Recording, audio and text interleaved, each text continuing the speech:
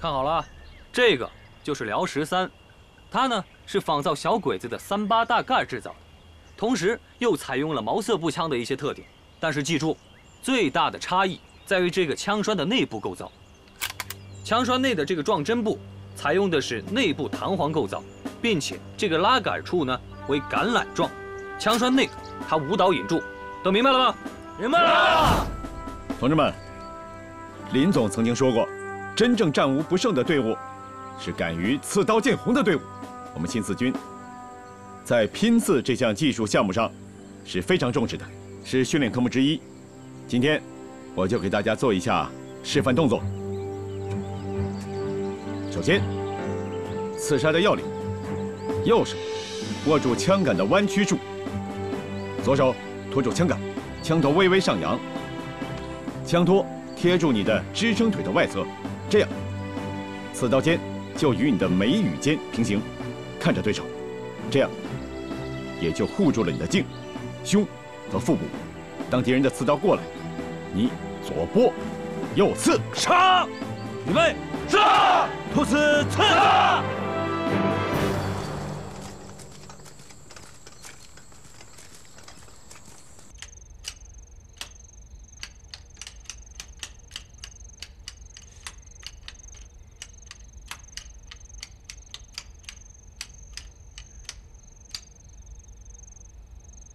支队长，算清楚了，咱们还剩多少家底儿啊？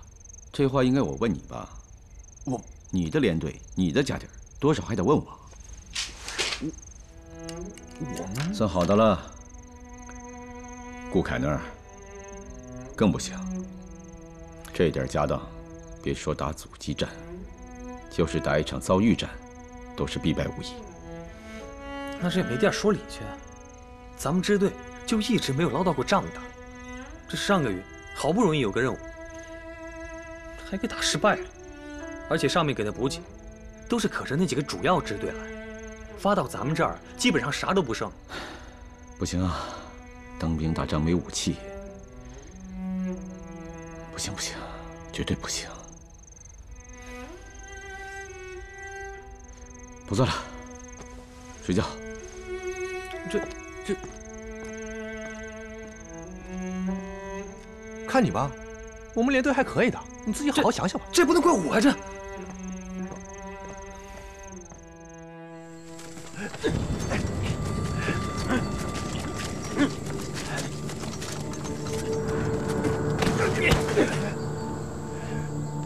准备，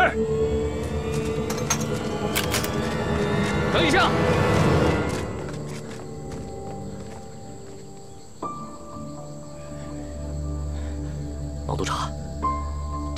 都跟我出生入死过，你看，要不这样，让他们跟我回战场打鬼子，将功赎罪，就算战死了，好歹也是个爷们儿。杜团长，他们可是通共分子，要是把他们留下，谁敢保证他们不跑？恐怕还没有到战场，人就没影了吧？只要让他们跟我回战场，我保证他们不是逃兵。杜团长，我知道你爱财，可这三个人坐实了通共。这可是上峰最忌讳的。你把他们留下，这要是被军统的人知道了，恐怕你也得被划为通共分子。杜团长，难不成你同情这三个通共分子？王督察，鬼子我们打，共产党我们也抓，上面人都知道，你别乱说话。光说有什么用？你得拿出点实际行动来。行刑！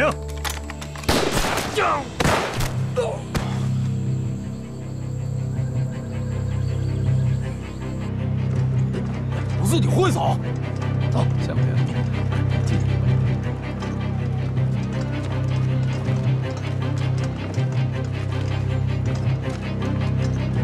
高副支队长，哎，高副支队太可惜了，这么能打的一员猛将，没想到没死在战场上。却死在这刑场上，哎，算他倒霉。这刚刚要整顿军纪，他就在这个节骨眼杀了个老百姓，这不正好被抓典型吗？啥老百姓？不就是误杀了一个想要祸害妇女的地痞吗？目前，在东桥镇刚刚由日本人修通的铁路，这里变成了日本人的临时物资存放地，里面存放了大量的军火和弹药。嗯，这个临时仓库一定要把它敲掉。如果这些物资要运出去，我们的队伍麻烦就大了。今天先这样吧。是是。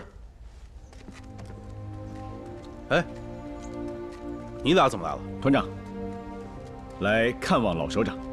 哼，来看看我。啊？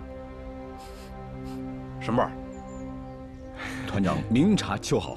哎，好东西。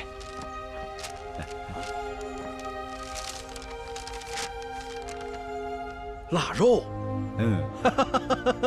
你看，我就记得您当年在抗联的时候跟我说过，小时候在四川待过，最喜欢四川的腊肉。正好赶上我们炊事班班长，他就是四川人，做了好几块呢。本来想咱们过年的时候给战士们改善一下生活。那你这给我送来了，你们不就不够吃了吗？不是，首长多辛苦啊，你们得增加营养。向兵卫，哎，你可是当年上海滩鼎鼎大名的大少爷，你是向家大药房的少东家，家里生意做得精。今天无缘无故给我送这么一大块肉来，我敢吃吗？有，有啥不敢吃的？您放心吃，大胆的吃。好东西是好东西啊，只是我怕吃进去的是肉，吐出来的不一定是骨头吧？说，有啥事找我？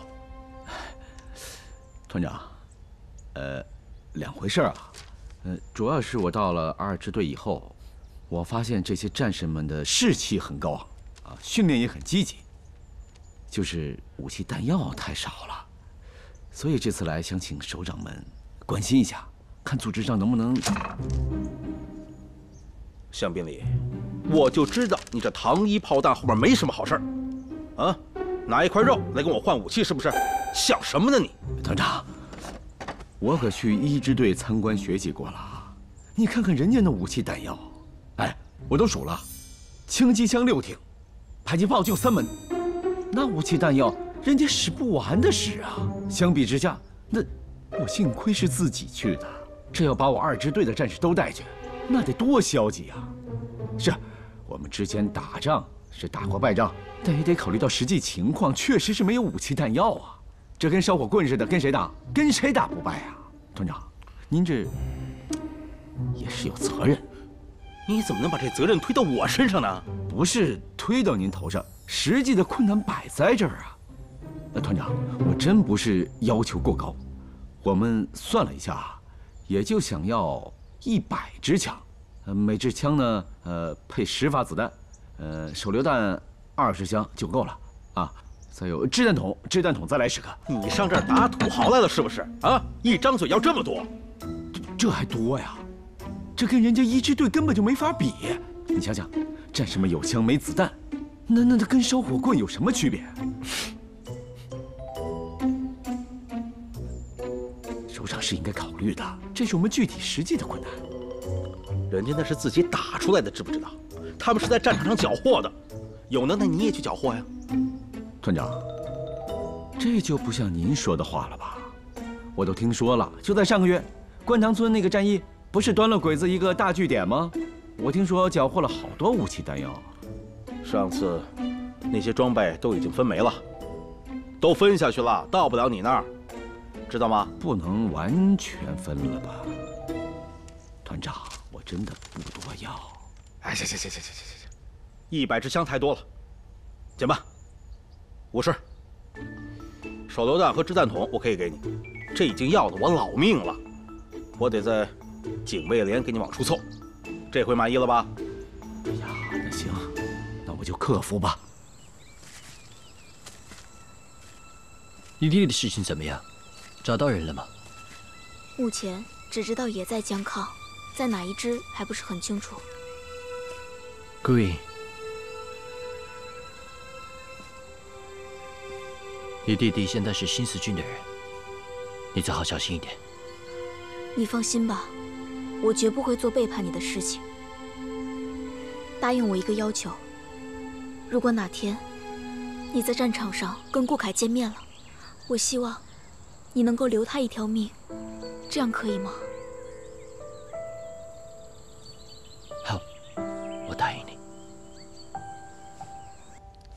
团长，我还有一个要求。什么？我告诉你，向宾礼，你可别得寸进尺啊！不是团长，不是要东西，这不刚才进门的时候，我看见几个战士押着一个人，说要去枪毙，好像是副支队长，说是给关起来了，怎么回事？你说的是高铁光啊？啊，他犯错误了，得枪毙。这，枪毙？嗯，我可听说了，人家是战斗英雄啊。再说了，这事儿您调查过吗？他为什么误杀那个地痞流氓啊？那是因为那个地痞流氓想强奸良家妇女，这种情况我们新四军能不管吗？即便是有错，那也不至于枪毙呀。团长，要不这样吧，你把这小子放到我二支队，我让他当个连长，让他戴罪立功，来把本事使在战场上，行吗？宾礼啊，其实我也不想这样，但是政治部那边。好，这个人我就给你。谢谢首长。政治部那边我去想办法。这小子打仗确实是把好手，你捡个便宜。不过这人我是给你了，你一定要好好给我管管他，以后再出什么岔子，我拿你试问。报告，什么事儿？又分来一个新同志，盐城军校分给我们一个通信员，周凌霄同志。团长好。呵，凌霄啊。你来了，这下人齐喽，就像当年在东北抗联一样，欢迎你啊！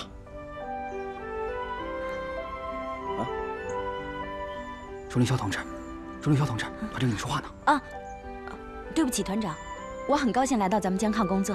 很高兴，好像应该不只是来这里工作高兴吧？应该是来到这里，看见某些人更高兴，啊？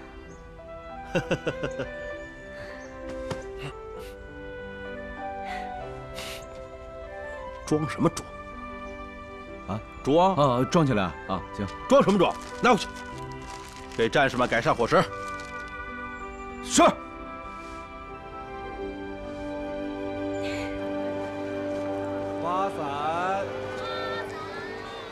真没想到，咱们在江抗又遇到了，真是太巧了。笨蛋，不是巧。不是巧，什么意思啊？老郝是我们学校的副校长。他告诉我你调去江抗独立团了，哦，正好呢，团长又是高峰、金荣、顾凯也都在，我就向组织上申请，一起调过来了。我还真以为是巧合呢。哎，你这些年都怎么样啊？当初留下一封信就不辞而别了。这个不能怪我呀，我当时知道你去盐城学习，我也接到命令到抗大去报道。所以，根本就没有时间去跟你道别，留了封信，不怪我吧？当然不会怪你。哎，对了，有方静文的消息了吗？没有。之前我只知道他参加了国民党，后来我也打听过，现在只了解杜凌云他们已经改编了，但是具体位置还不了解。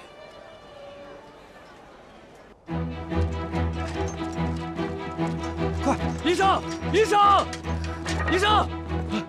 怎么这么多？还有多少伤员？现在战场上还有很多，已经救不过来了。赶紧！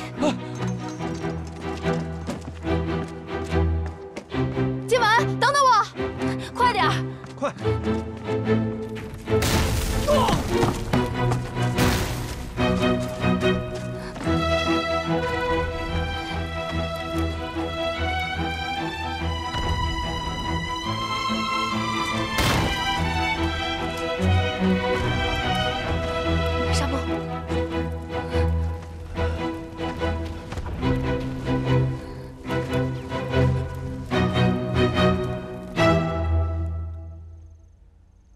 虽然这次武器弹药领导是给批了，但对咱们支队而言，只是杯水车薪呢。那怎么办呀？咱们不能再去管高团长去要吧？哼，我想这一年，我估计他都不想见我了。求人不如靠自己啊。金荣啊，记得咱们今天去的时候，团长在开会说什么吗？好像在说东桥镇什么？东桥镇火车站，这里存放着日军大量的军事物资。什么是军事物资啊？武器弹药少不了吧？啊听团长那话了吗？人家那是自己缴获的。这啥意思？有本事你们自己去缴获呀！那咱们就得让他们看看咱们的本事。哎，哎，哎，特警光！哎，特警光，你在干嘛？你干什么呀？我这辈子从来不欠人人情。支队长，今天你救了我，我还你两根手指头。从此以后，咱俩谁也不欠谁。哎哎哎！你小子够混的呀！啊，我什么时候说让你还人情了？你没说欠，但我记着。你应该记着，我在团长那做保证，把你要回来的，不是为了让你当残疾人的。你是当兵的，手指头断了，拿什么扣扳机？要死你给我死在战场上！可是，可是我不想欠人人情。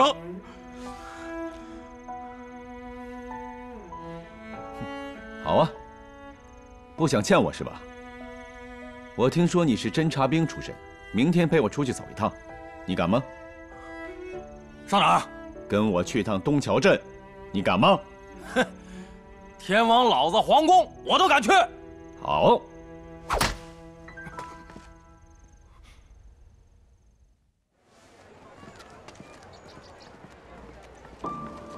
哎呀，镇子不大，哎，挺繁华呀。这儿啊，历来就属于水陆交通要道。它呢，离苏州城和无锡城都是比较近的，所以这成了日军运输兵和运输后勤物资的重要节点。难怪团长盯上这儿了。支队长，你不觉得这地方很眼熟吗？是啊，我也觉得好像挺眼熟的。我们来过这儿吗？来过，咱们当时在上海往东北运药材的时候，路过过这里啊。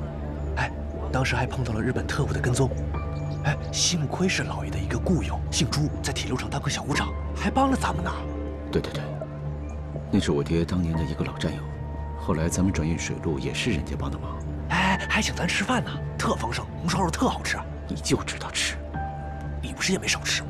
哎，那既然咱有这铁路上的朋友，况且日本人大部分物资都在那儿，咱找他帮忙不就得了吗？哎，对对对，咱们还能再蹭顿饭。我跟你说，那个红烧肉可好吃了。行了，这么多年过去了，兵荒马乱的，人在不在还不一定。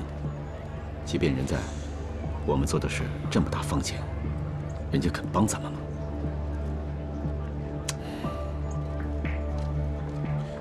就知道吃。哎，哎，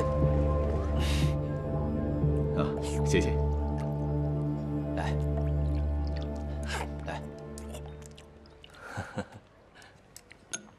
哎 呀，这东桥镇自从沦陷后，就被日本人给控制了。这镇上二狗子、日本兵住的还真不少，还有什么便衣队、侦缉队、缉私队。哎呀，给日本人干活的人呢，比街上的耗子都多。哼，你不也给日本人办事吗？我说实话，我呢，只是在车站。当个股长，平时除了工作跟日本人打打交道，其他时间我一概不跟日本人来往。我也没办法养家糊口嘛。再说了，我不干，这个镇上没人会干呐。这火车它总得开吧？来来来来来来，喝，别客气啊！来来吃。哎，你们这次来找我，还是想偷偷的运药材？没办法呀，朱师伯，这生意不能停啊。而且这次药材啊，特别名贵，只要你能帮这个忙，价钱您尽管开口。车站最近有大批的日本人物资要送达，安检非常的严格。每节车厢门口都有两个日本兵站岗，一旦发现问题，当场就杀人。还有，每节车厢里边也配着两个日本兵，看管全车厢的人呢。要在这个时候运送违禁品，怕是没什么可能吧。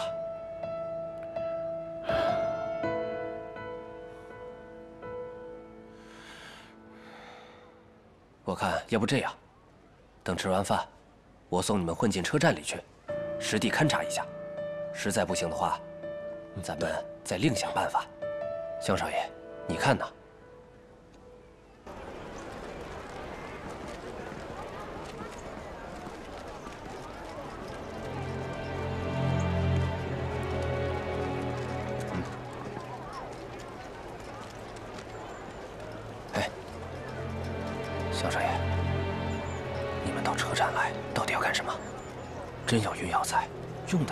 这条路吗？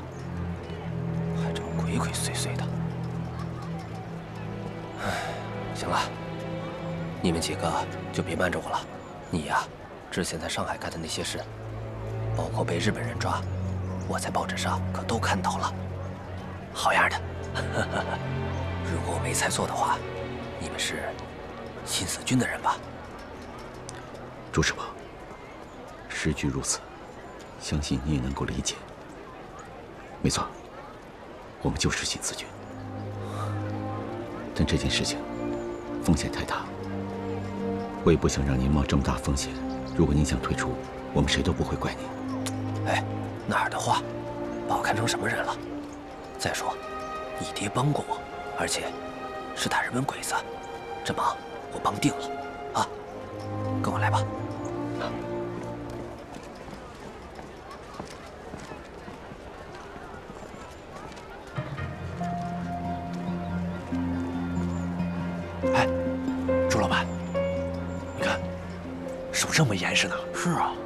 什么宝贝呢？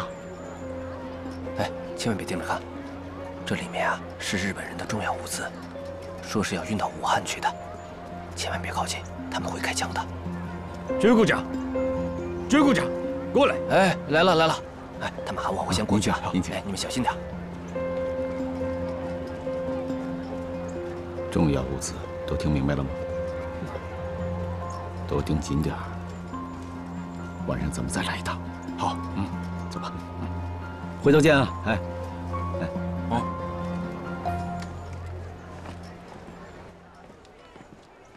这些日子，这火车站一带是咱们的重点防御区域。但凡遇着可疑的人，抓住再说。听着没？哎，好了，是。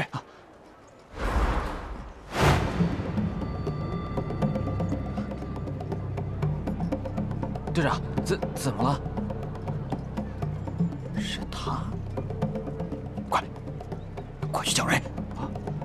发现什么了？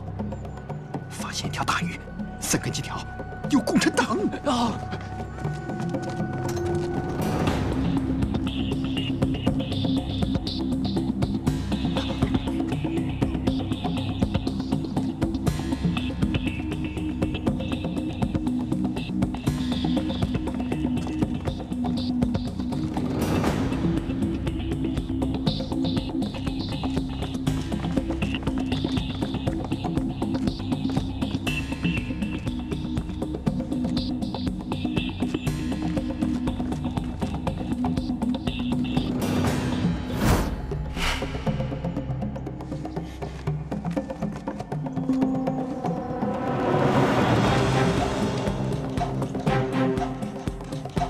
蒋经理，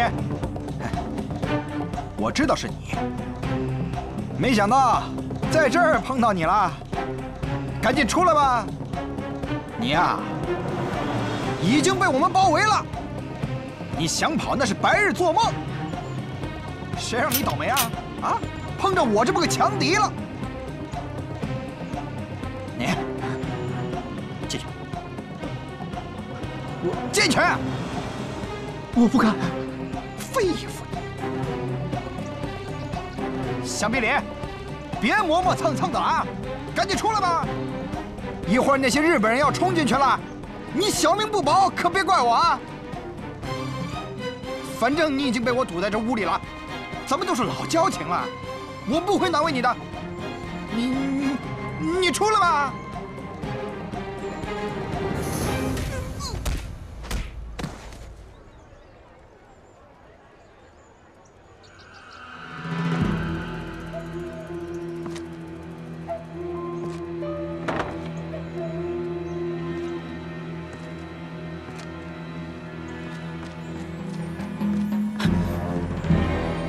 向兵礼，你太粗心大意了。你什么人？为什么要帮我？放下！嗯，都是自己人，跟我走。走，走，走。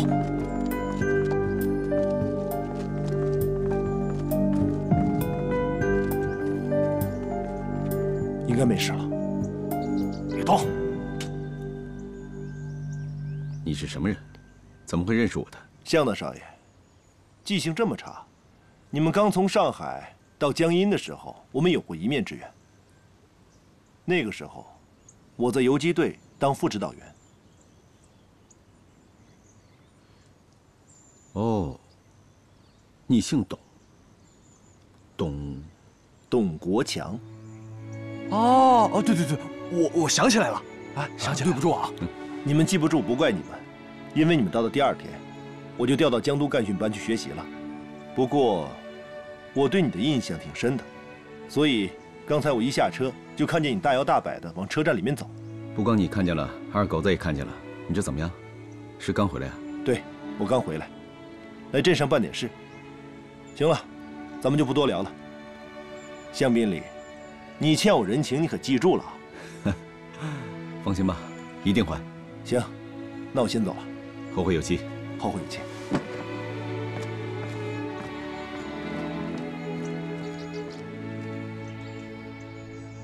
日军在东桥镇的主力部队已经调往前线跟国军作战，目前在东桥车站。嗯，现在呢，东桥车站驻守的只是日本宪兵队的一个小队，大约二十人左右。白天的时候，他们检查的比较仔细，而且布局也比较分散。嗯，主要在上下车的地方，鬼子盘查的是特别的仔细。而且，据说每台车辆的车厢里都会有两个日军驻守。也就是说，我们如果是白天偷袭的话，将面临很多不确定的因素，就连日军的兵力，我们也都无法准确的掌握。另外呢，从某种迹象表明，日军很有可能在最近来增兵布防，控制这个车站。我补充说明一点啊，我跟支队长大概用脚测量了一下，预估了一下人力分布，检查的大概有四人，铁皮房这里大概有十个人。来回巡逻换岗，大概有六个人。嗯，也就是说，只有晚上的时候，日军的兵力比较集中。所以，现在决定，我们今天晚上夜袭东桥车站，而且必须在半个小时之内解决战斗，速战速决。大伙有没有信心？有有。好，去准备吧。是。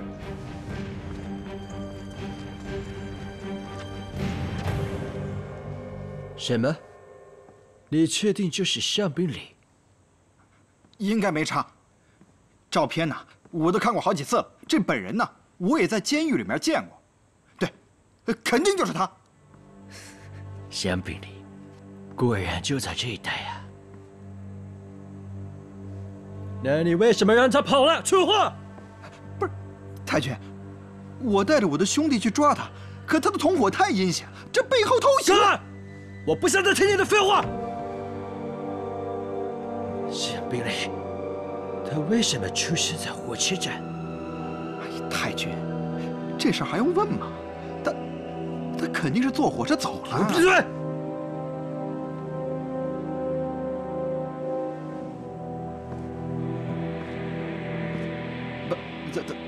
怎么了，太君？怎么了？我们的物资是不是大部分都存放在火车站？是啊，回来！啊！赶快给小爷打电话，让他连夜带一个小队回去火车站，还有你的部队，赶快给我去火车站，快！是。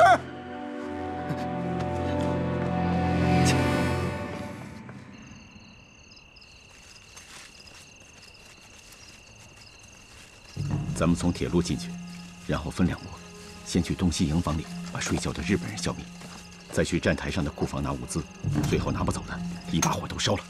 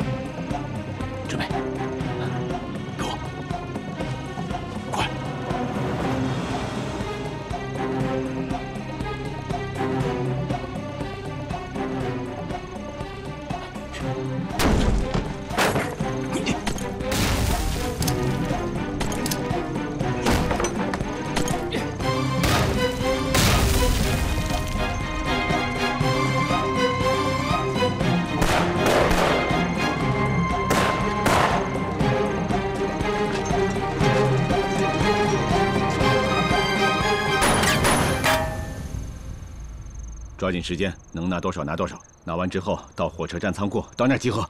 好嘞，走，快，快吧！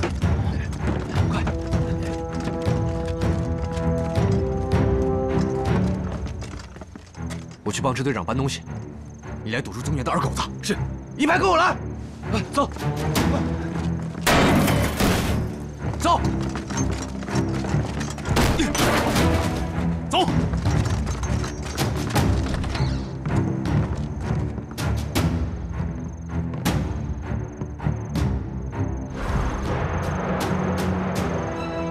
发财了！同志们，收获！哎，快，走！快，快快快快！哎，抓紧时间，快！哎，快点！抓紧时间，快点快点！来，往里放！来，快！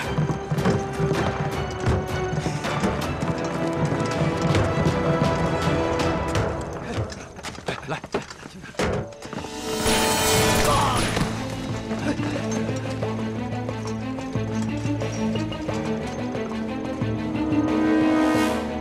你们给我听好了，我们是新四军的，来找日本人拿点东西，东西拿到了我们就走，不想伤及无辜。如果有不开眼的、不想要命的，也可以站出来吃我们的枪子儿。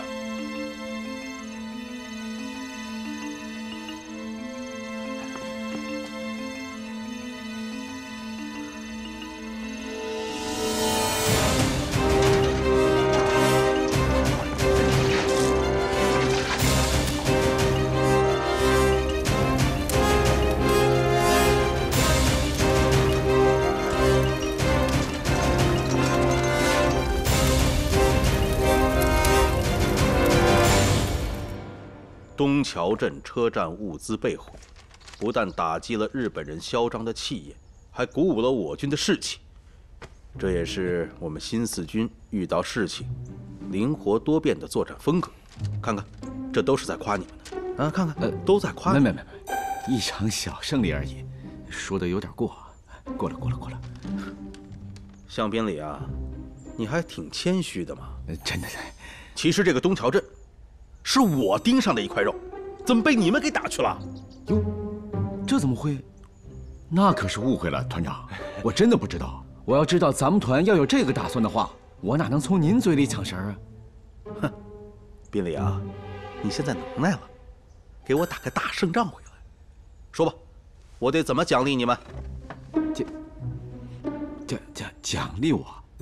啊，这奖励啥呀？这都是我应该做的。团长，你看啊。你看这个，日本人那儿缴获的，我那儿有了。您要是喜欢，就拿着玩。这个，呃，还还有这个，别别别别别，太多了。还有这个，呃，这不是这次啊缴获的日军物资还比较多吗？我们那儿也富裕了。那我们富裕了，也得支援团部啊。这都是支援团部的，不错呀，这么多。向宾礼，一夜之间你成富翁了。哎，滴水之恩当涌泉相报嘛，对吧？哎，怎么样，团长？那就不用处罚我们了吧？处罚你？我没说处罚你啊，我为什么要处罚你呢？我知道，我们私自带着队伍去打火车站是违反了纪律，应应应该处罚。哎呀，宾礼啊！我真的没说要处罚你，我们上级有指示，遇到临时情况，可以随着敌情的变化，临时出击。你这刚回来，还不大了解，慢慢你就知道了啊。我我知道您说的是反话，我没说反话，真的是要奖励你。啊？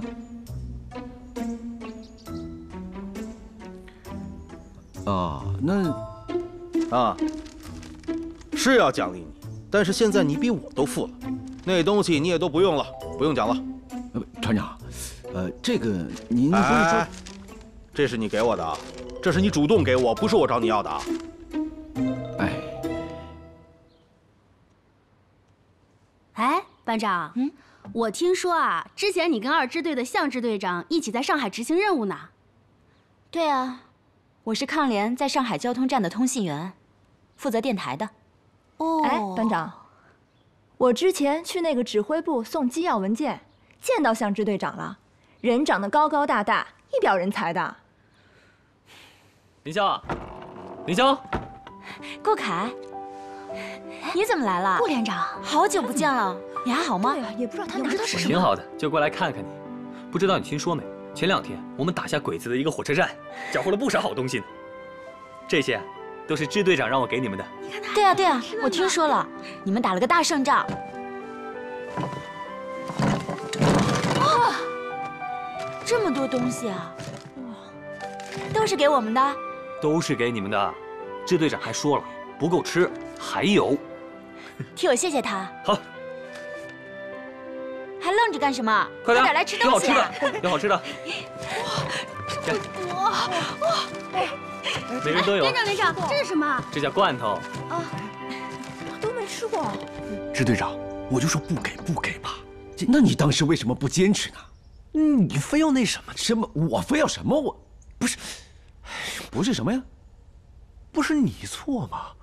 我的错啊？不是我，我的错，我的错，就是你的错。哎，我的错，我的错，自己送的还心疼。等急了吧你们？哎，团长，嗯，不急，应该的。给你们介绍个政委，进来吧。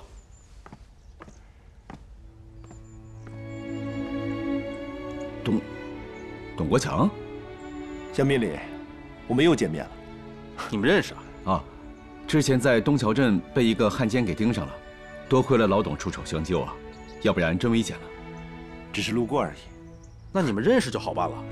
给你介绍一下啊，董国强，三十三岁，东北讲武堂毕业。